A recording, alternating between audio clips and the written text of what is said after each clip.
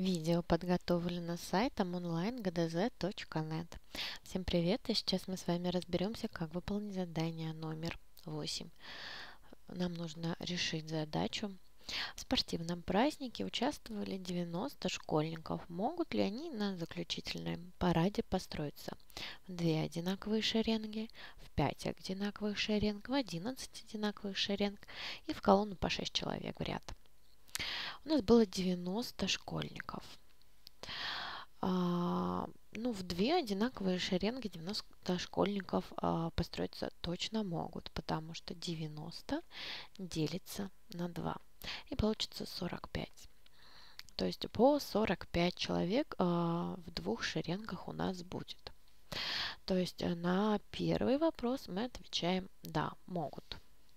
Давайте здесь под первый вопрос поставим и напишем могут. Второй вопрос.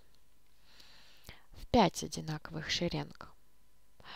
А, ну, чтобы в 5 одинаковых шеренг построиться 90 человек, нужно проверить, делится ли 90 на 5. Ну, 90 на 5 у нас делится.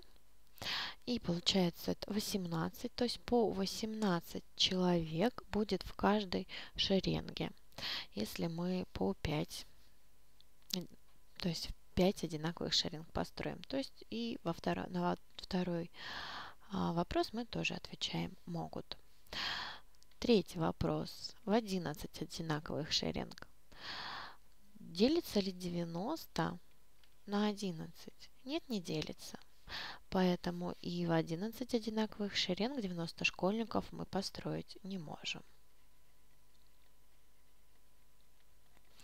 И последний вопрос. В колонну по 6 человек в ряд. А, для этого нужно проверить, чтобы ответить на этот вопрос, делится ли 90 на 6. Ну, 90 на 6 у нас делится и получается 15. То есть мы можем в колонну по 6 человек в ряд построить 90 школьников и в ряду получится у нас по 15 человек. То есть на последний вопрос, четвертый, мы тоже можем ответить, что школьники так построиться могут. Если вам понравилось видео, смотрите остальные решения на нашем сайте. Есть вопросы, предложения или пожелания,